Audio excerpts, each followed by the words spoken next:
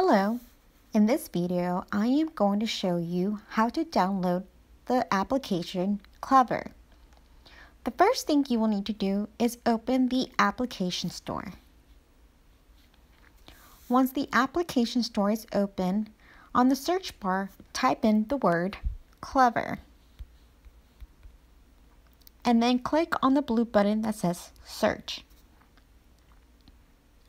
Clever should be the first one to pop up. Is that blue square with the white C in the middle. You may press on the get button and download the app, but since I already have access to mine, I will click on open.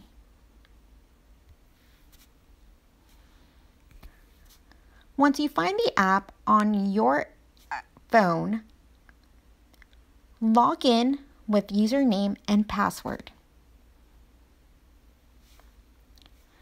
You may click on login with Google or any credentials that you may have with your school.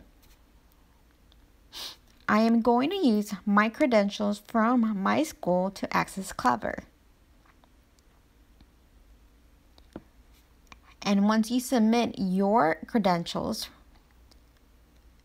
you're able to access Clever and review all the district resources, documents and files, and classroom resources that can help you through this virtual learning and education.